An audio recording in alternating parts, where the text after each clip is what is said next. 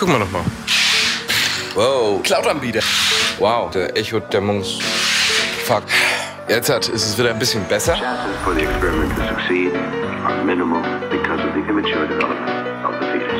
Like it or not, you're getting one hell of a chance at life. Reden wir nochmal Tacheles. Cloud-Anbieter. Warum seid ihr so verdammt teuer? So kacken teuer! Wenn man im Schnitt kalkuliert, kostet ein durchschnittlicher Cloud-Speicher ungefähr 9 Euro im Monat für 100 Gigabyte. Das ist viel zu viel. Warum müsst ihr das tun? Warum müsst ihr das tun? Sagt's mir! Also für normale Nutzer eignen sich diese Cloud-Angebote eigentlich fast gar nicht, wenn ich mir das so überlege. Ihr wollt für eure Spiele oder für eure Schulpräsentation ein bisschen Speicher, vielleicht noch ein paar Videos rüberschaufeln. Das ist viel zu viel. Ich habe eine Lösung gesucht. Und zwar, Dennis produziert Videos, wir produzieren Videos. Wie können wir schnell Daten austauschen? Unser Internet ist Holzklasse.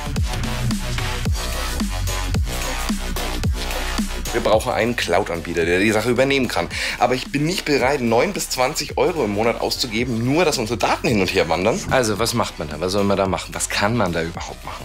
Gibt verschiedene Möglichkeiten. Ich habe einen einzigen Cloud-Anbieter gefunden, der was drauf hat. Einen einzigen. Der nennt sich Sulz.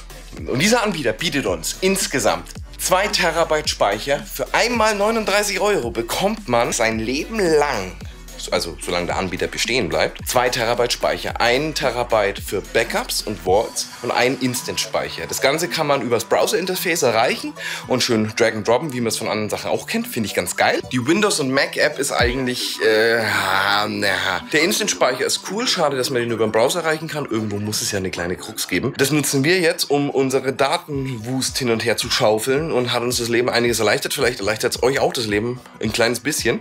Deshalb, falls ihr relativ relativ schnellen Speicher sucht, und zwar relativ viel, bis zu 1 Terabyte Instant, gebt euch nicht mit dem bestehenden Cloud-Angebot ab. Es gibt ab und zu trotzdem noch ein paar Hersteller, die ein bisschen was drauf haben. Holt euch Sulz. Sulz hat unserer Meinung nach ziemlich drauf. Und ihr habt keine Dateilimitierung. Das heißt, ihr könnt welches Format hochladen, ihr auch immer wollt. Ob es jetzt Exe sind, ZIP-Dateien, ISOs. Und es gibt keine Größenbeschränkung. Das heißt, die Datei darf so groß sein, wie ihr möchtet. Ihr dürft natürlich nicht die Speicherkapazität von einem Terabyte überschreiten, aber ihr würdet es schon machen. Viel Spaß mit dem Tipp und schaut ein paar Videos von uns hier oben an und das ist voll toll. Und dann wünsche ich euch noch einen schönen Tag, schönen Abend, wie immer. Haut rein.